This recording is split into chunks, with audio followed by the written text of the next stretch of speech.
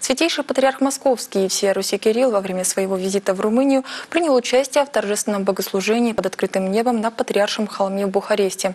Церковные торжества были посвящены Дню памяти небесного покровителя города, преподобного Дмитрия Басарбовского, памяти мучеников и исповедников, пострадавших при богоборческом строе в Румынии, десятилетию интронизации блаженнейшего патриарха румынского Даниила. Богослужение совершалось на помосте с престолом, установленном под сенью на площади Патриаршего собора во имя святых равноапостольных Константина и Елены.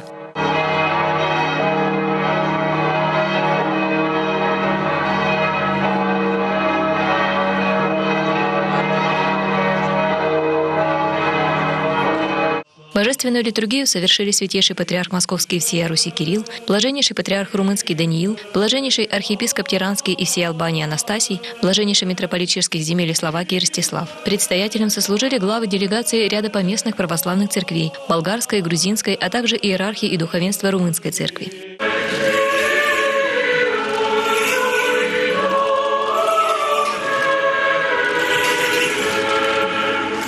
Богослужение совершалось на румынском и церковнославянском языках.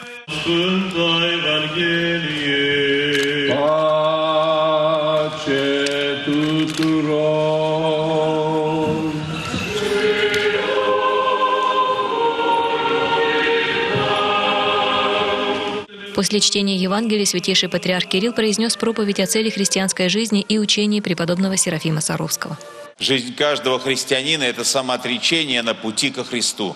Преподобный Серафим Саровский – один из самых почитаемых святых не только в русской православной церкви, но и во всем православном мире. Истинная цель христианской жизни, по слову преподобного Серафима, заключается в стяжании Духа Святаго. Иначе говоря, любой подвиг христианской жизни обретает свой смысл только в Духе Святом и только в нем приносит свой плод.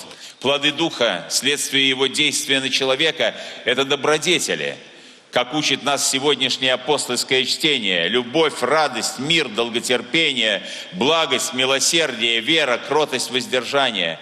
Святейший патриарх Кирилл подчеркнул, что как в древние времена, так и ныне появляется немало политических и религиозных лжеучителей, обещающих рай здесь, на земле, но только без Христа, без Бога. В 20 веке подобные заблуждения привели к страшным историческим экспериментам, от которых весьма сильно пострадала православная церковь. В одной лишь русской церкви смерть за веру Христову приняли десятки тысяч священнослужителей и монашествующих, сотни тысяч мирян. Наши мученики верили и знали, что единственная возможность узреть Царство Божие здесь и сейчас – это жизнь в Духе Святом. Они своей кровью засвидетельствовали, что подлинное счастье, счастье в его самом высоком смысле, только в Духе Святом, в нем преддверие настоящего блаженства здесь, на земле, и полнота блаженства в горном мире на небе. И это высшая правда сильнее лжи и злобы ее гонителей. После сугубо Ектении была возглашена вечная память отошедшим ко Господу исповедникам и защитникам православия во всех странах, где существовали богоборческие режимы. По завершении литургии по просьбе блаженнейшего патриарха румынского Даниила святейший патриарх Кирилл обратился со словом к участникам торжеств.